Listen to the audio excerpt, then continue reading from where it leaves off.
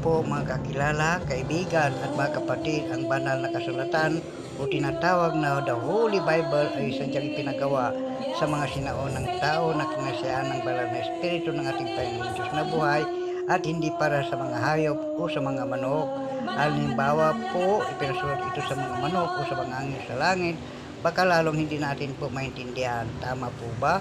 Kaya nga pinasulat sa, na sa tao para mabasa at maunawaan po natin po mga kapatid.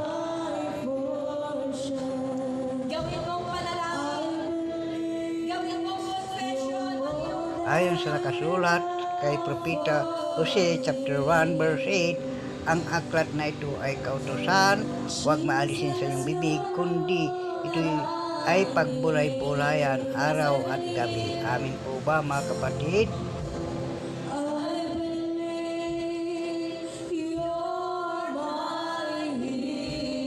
Ganun, ganun, gaano po ba natin kakilala ang Panginoong Diyos?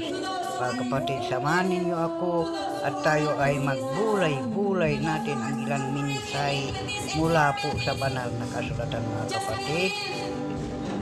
Dito po sa Mateo chapter 7 verse 21, hindi lahat ng nagsasabi sa aking Panginoon, Panginoon ay papasok sa karyan ng langit, kundi ang gumaganap ng kalooban ng aking Ama na nasa langit. Binabasa ko lamang po ito mga kapatid para ibahagi ko po sa inyo ang mga minsay po sa Lucas chapter 6 46 bakit tinatawag ninyo akong Panginoon? Panginoon ngunit hindi ninyo ginagawa ang sinasabi ko.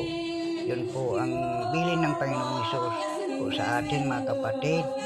At dito naman po tayo sa sample explanation ng screenshot copy lang po mga kapatid. Kaya marami na nag-akala basta kakilala ang Panginoong Diyos ay okay na po sa kanila. At yun po ang nakakalungkot po mga kapatid sa napakahalaga ang panyahay sa atin ng Panginoong Isus sa Matthew chapter 11 verse 28 lumapit kayo sa akin kayong lahat na nalulupaypay at luphang nabibigadan at kay bibigyan ko ng kapahingaan. Kumusta na mga kapatid?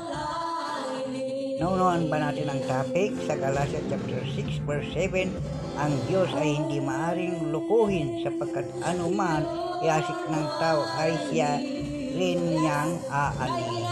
Tama po mga kapatid dito sa dos sa chapter 2 Corinto chapter 5 verse 10 sapagkat tayong lahat ay kailangan humarap sa hukuman ni Kristo upang bawat isa ay tumanggap ng kabarihan sa mga bagay na ginawa niya sa pamamagitan ng katawan, maging mabuti o masama. Amin po. At sana mga kapatid, mabigyan pansin ang mga minsay. Hindi tayo nabubuhay lamang sa ating sarili, pagkos mayroon tayong obligasyon sa may kapal. Amen. Maraming salamat po, po sa pagkinig at God bless po sa lahat.